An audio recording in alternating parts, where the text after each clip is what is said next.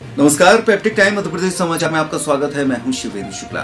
छतरपुर में सिटी कोतवाली के पीछे वार्ड नंबर 28 में श्रीमद भागवत कथा का समापन हो गया। हवन पूजन और भंडारे के साथ विधिवत इस कथा का समापन हुआ, जिसमें बड़ी संख्या में श्रद्धालुओं ने प्रसाद ग्रहण किया। आयोजन समिति के गिरजा पाठकार ने बताया कि सात दिनों से चली आ रही श्रीमद भागवत कथा के संपन्न होने के अगले दिन सुबह से ही हवन पूजन की तैयारी शुरू हो गई थी। आचार्य पंडित मनीष पांडे के द्वारा विधि विधान से हवन पूजन कराया गया और उसके बाद रोज़ाना कथा सुनने आए सभी श्रद्धालुओं ने हवन कर पूर्णाहिति की और उसके बाद भंडारा शुरू किया गया।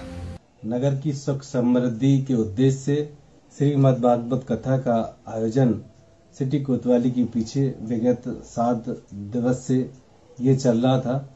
आज आठवें दिन इस कथा का समापन हुआ है और, इस कथा के उपरांत पूर्णाहुति की गई, हवन पूजन किया गया। इस कथा में प्रत्यक्ष एवं अप्रत्यक्ष रूप से सहयोग करने वाले सभी धर्म प्रेमी भाइयों एवं माताओं बहनों का हृदय से धन्यवाद करते हैं।